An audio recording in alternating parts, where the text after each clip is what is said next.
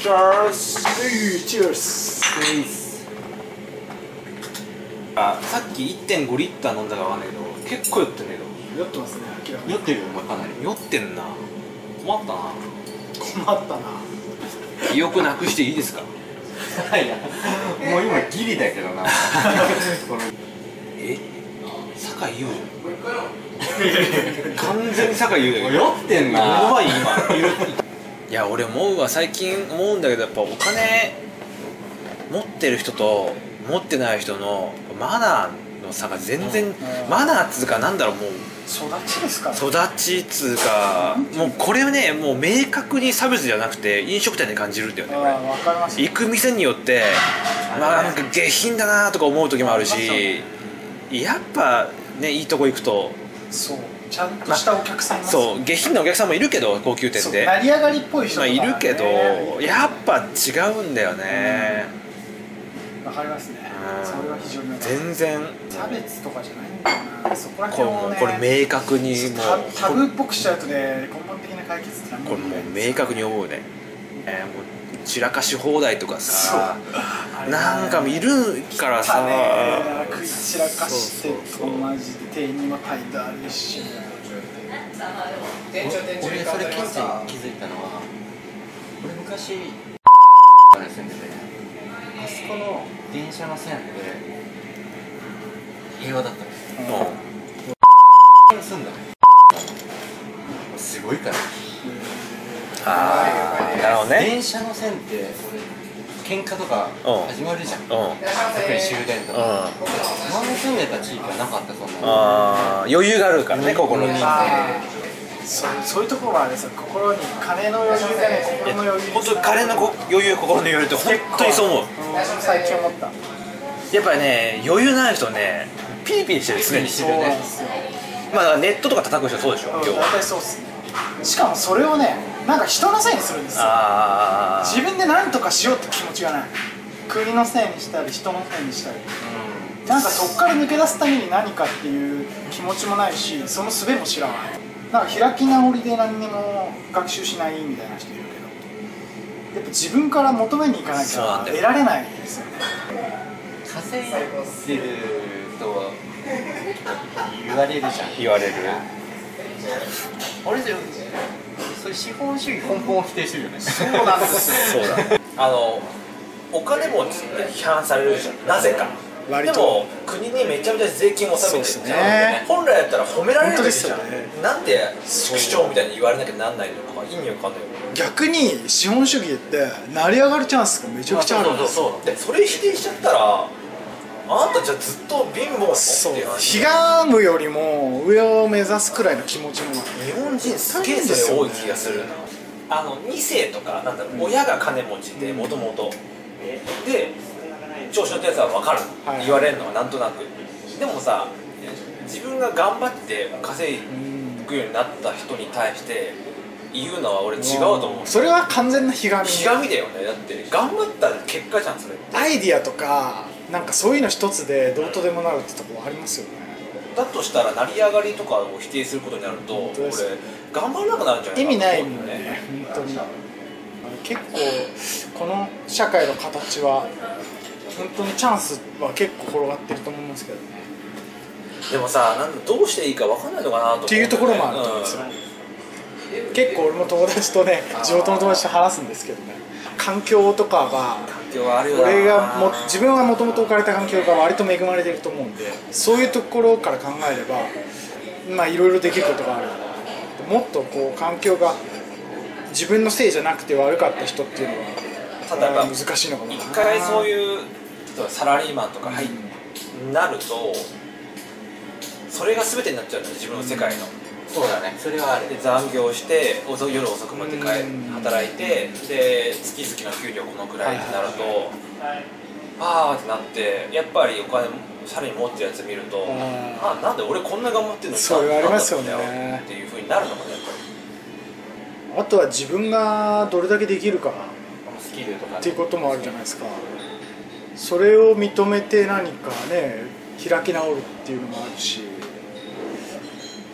捉え方でも全然か世界が変わってくると思うんですよね。じゃあ自分がこれぐらい稼いでこんな暮らしがしたいっていうんだったらそれに向かっていかなきゃいけない。です結局なんか目標そうだそうだなんだよね。俺なんか別にお金そんなないしまあ環境的にはいい方だけどそれじゃあ何がしたいかっていうのもあるんでそこに向かって今やっぱねさっきも言ったけどハンドハンドルをこう明確にねこうすぐにねか舵を切って曲がるってできないから、ねやっぱ徐々に徐々にこうね。ハンドル曲が曲げるっていう方がやっぱ自分の中でこう決めないとできないから、絶対その方がいいですよね。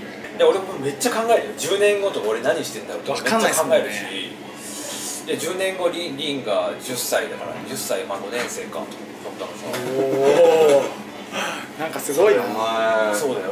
塾行かせてどうのこうのやらせてとかいろいろ考えるし。すごいな。本当そういうことだよな。2人目生まれてじゃあその2年 3, 3年生まだ大丈夫だなとか。中学卒業したぐらいからだんだんお金かかってくるなとか。俺も全部考えながら動いてるからね。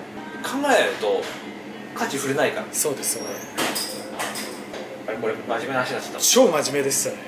これ俺でもね好きだよこういう真面目な話。割とここの2人の時は真面目トーンあるかもしれない。いやでも俺ね実はまあ前言ったかもしれないけど大きい目標ないね。ああのただ小さい俺まず圧倒的に今スキルが足りないと思ってるからスキル伸ばしたいの個人的には。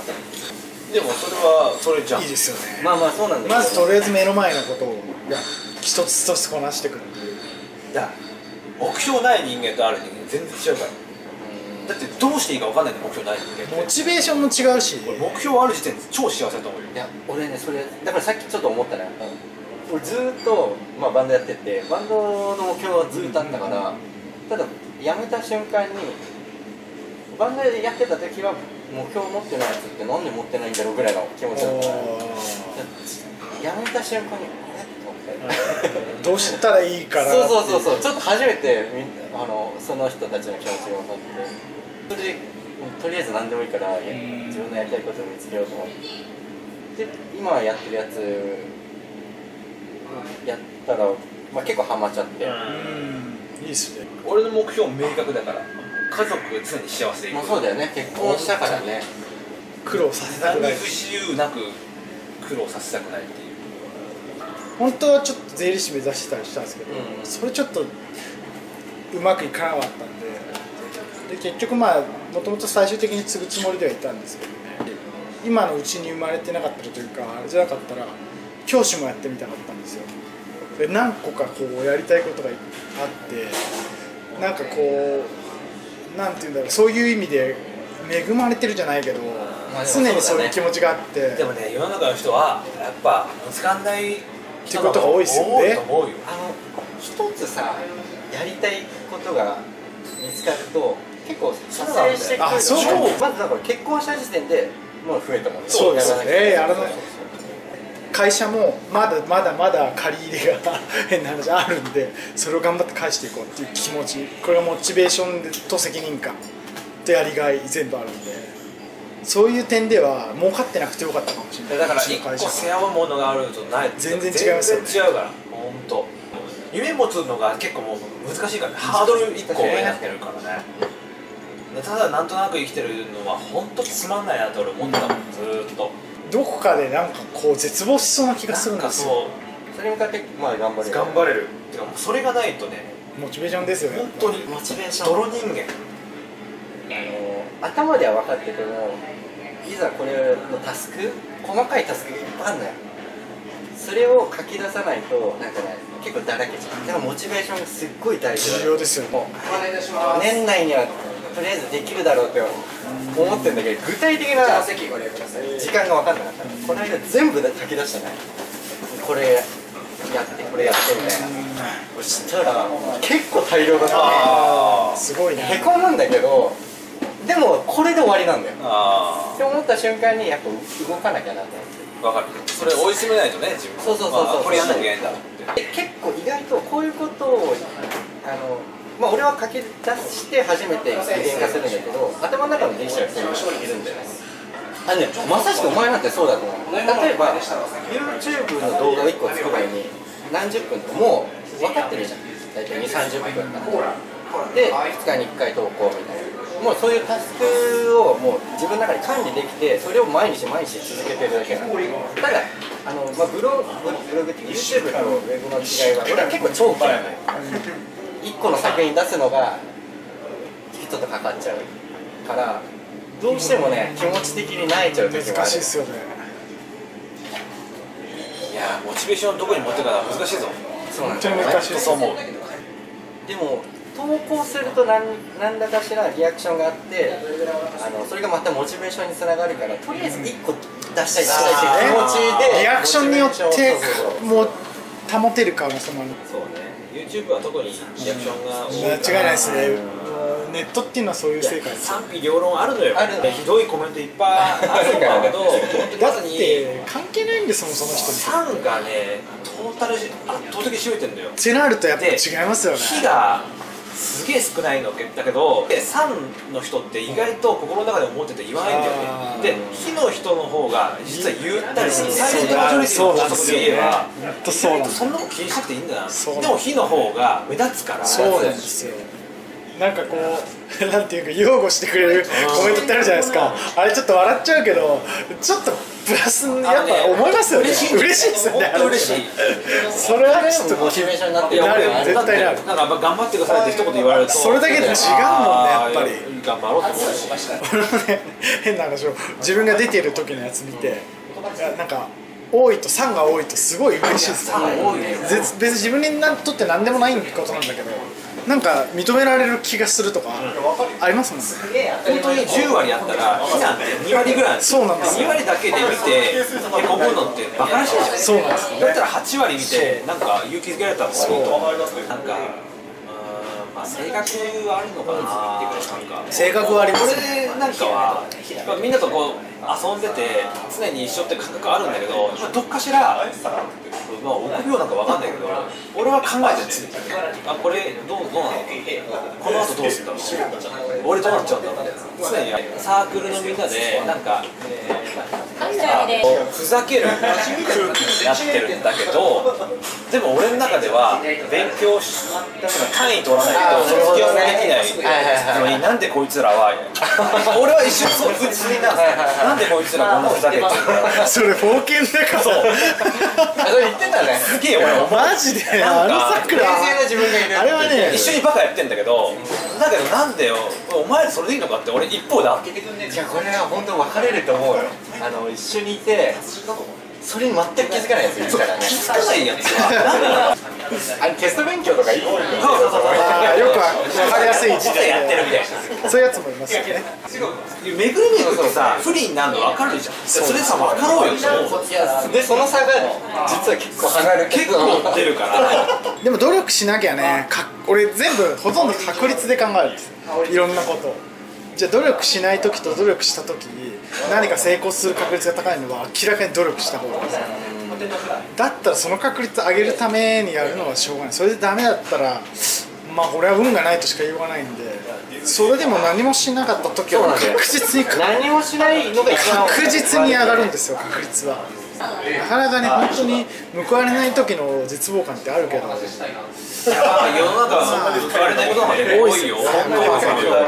っていうかそんなに簡単に考えることが一番違ってると思っててあでもまあ努力しないとね。まずは。そうそう。まずは。何もないよりかはそう。だねてかねあの前お前も言ったと思うけど。努力って報われないんだけど報われるまで努力してるから成功してる継続してるそうそうそうそう。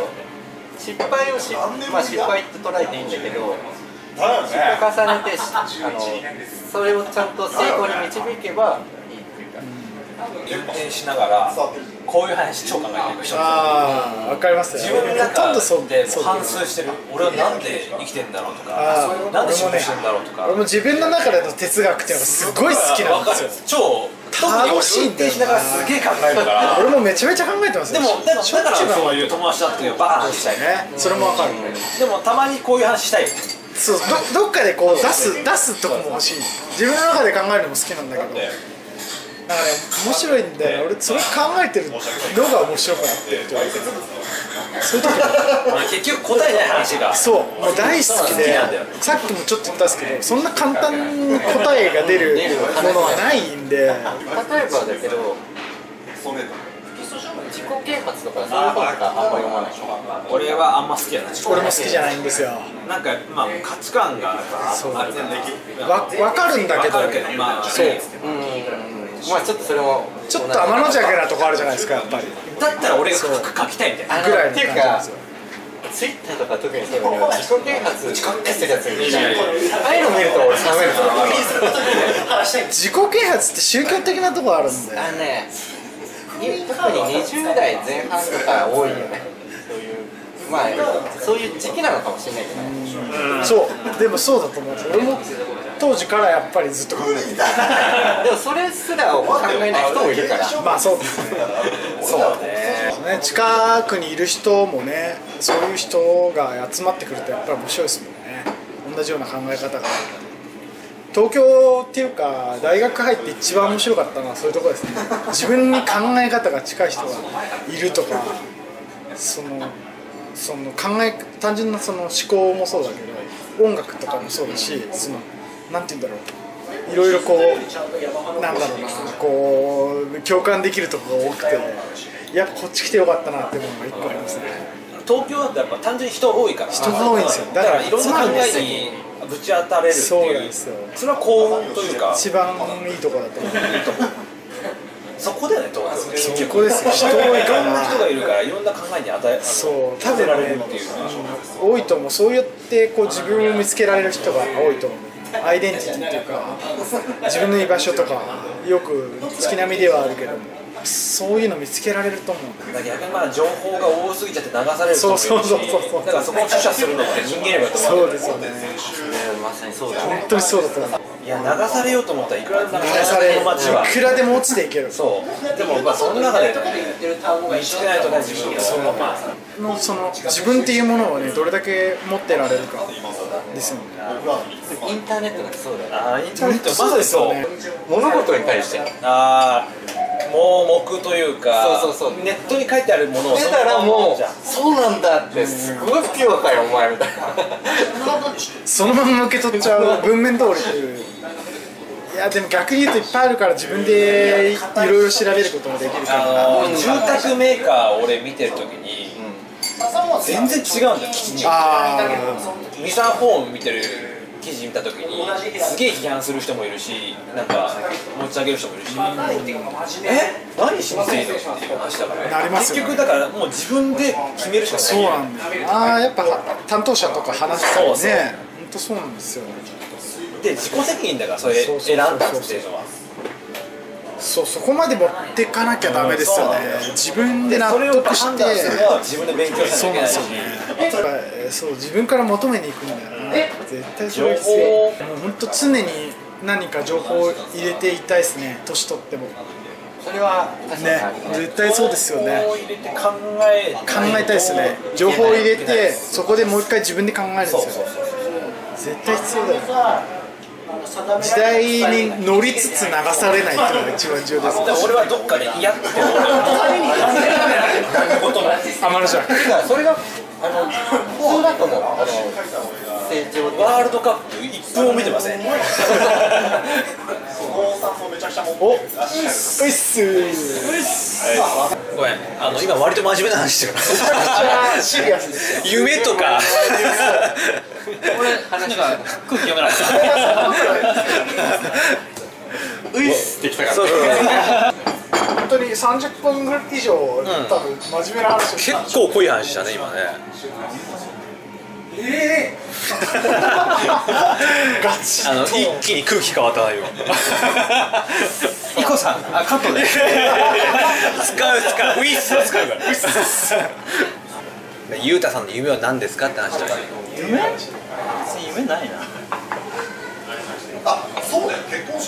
Echoes Films.